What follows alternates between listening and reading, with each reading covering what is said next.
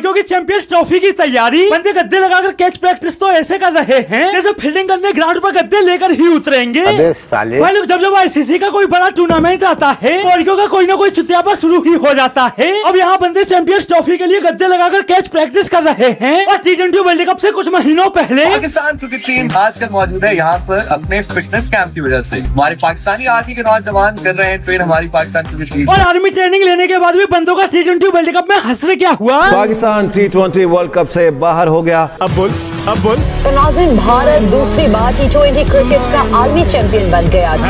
अब भाई एक तरफ़ भारत में टी ट्वेंटी वर्ल्ड कप जीतने का जश्न मनाया जा रहा था। वही पोर्की किस बात की खुशी मना रहे थे? टी ट्वेंटी वर्ल्ड कप 2026 के लिए आपको अपडेट करें कि पाकिस्तान क्वालिफाइंग राउंड खेलने से बच गया।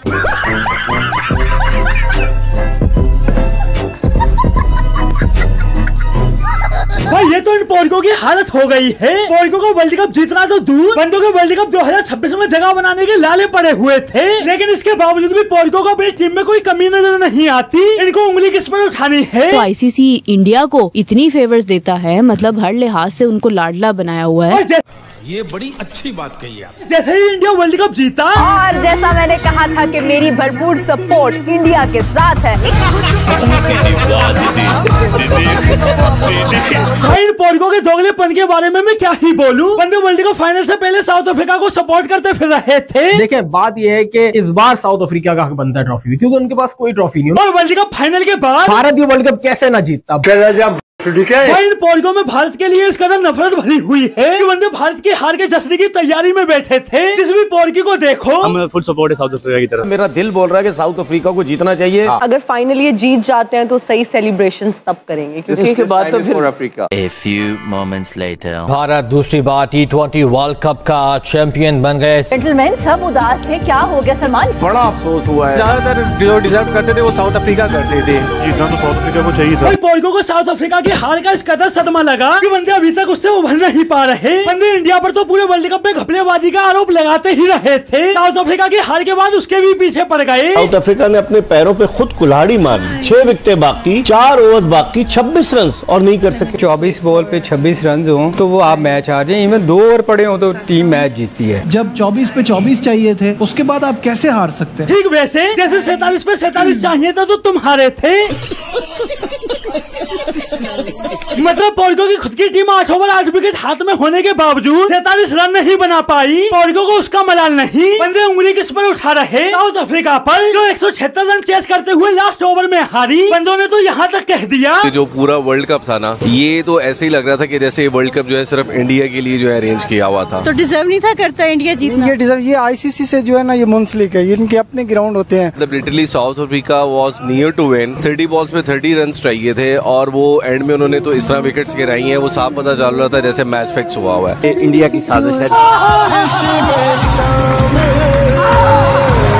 भाई कुल मिलाकर पूरे वर्ल्ड कप में पोर्को का यही चलता रहा। इंडिया को फेवर देने के लिए ये पूरा वर्ल्ड कप खराब कर दिया है। उनके सारे मैचेस न्यूयॉर्क में रखे गए। ग्याना में सेमीफाइनल इंडिया का ही क्यों रखा गया? जब यादव ने कैच पकड़ा तो रोब अपनी पोजीशन से तीन चार इंच पीछे हुई हुई थी। बुमराह बड़ा नुकसान दिया तो उसका बॉलिंग एक्शन भी चेक होना चाहिए। कल इंडियन प्लेयर्स के चेहरे पर वो खुशी नहीं थी। कुछ का तो रोना मुझे ड्रामा भी लग रहा था कि ज़बरदस्ती रोने की कोशिश कर रहे हैं। इंडियन प्लेयर्स का रोना ड्रामा होना हो लेकिन तुम पोर्को का रोना रियल ज़रूर लग रहा है?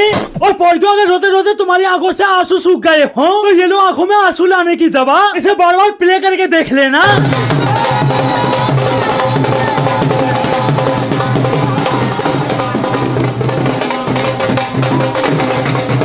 अब बोलिए। कैसा लग रहा है? फाइनली रो धो के लड़ झगड़ के हाथ वाथ घिसड़ के इंडिया ये टाइटल ले गया। देख रहे हो भाई इंडिया की जित पर कुत्ता कैसे रो रहा है? कुत्ता नहीं रो रहा है इंसान कुत्ते के रूप में रो रहा है। हाँ भाई पोर्को सच सच बताना तुम्हें इंडिया में वर्ल्ड कप ट्रॉफी देखकर दुख तो बहुत हो रहा होगा ना? हाँ दुख है पूरी दुख बहुत ज़्यादा दुख है। भाई होना भी चाहिए। आखिर वर्ल्ड कप इंडिया जो जीता है और अगर तुम्हें लगता है इंडिया ने चीटिंग की है अपन खुला बोलते ही किया। अभी तेरे को जो उखड़ने का उखड़ ले।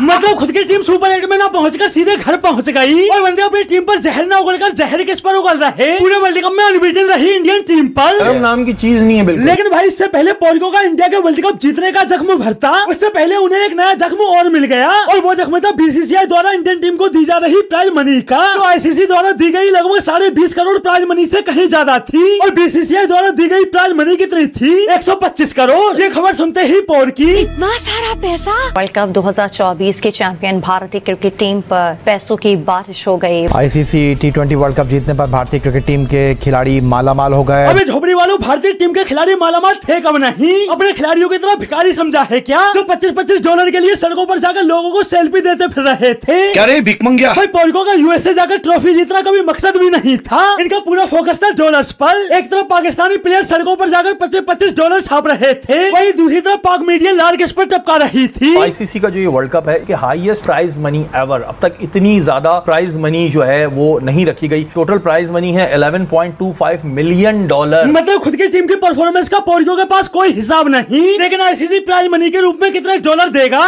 बराबर याद रखते हो। इन भिखारियों से आप उम्मीद भी क्या कर सकते हो? ये 2017 में कुदरत के निज़ाम के भरोसे जीती हुई एक चैंपियंस ट्रॉफी जिसको इंडिया से हर हार के बाद आगे करके पोर की। पाकिस्तान ने जो 2017 18 जून 2017 को जिस अंदाज से भारत को हराया था वो जख्म अभी तक उनका भरा नहीं है वैसे ही जख्म हरा है। अच्छा। और जो बहन के घोड़े 2017 के बाद इंडिया एक के बाद एक जख्म देता रहा था उसका क्या? बेचारे भूल गए होंगे टेंशन बहुत है ना? अच्छा चल वो सब छोड़। अभी जो वर्ल्ड कप में कुछ दिनों पहले जख्म दिया था वो भर गया या नहीं? भारत के हाथों पाकिस्तान की नाकाबिले यकीन शिकस्त के जख्म अभी तक ताज़ा है।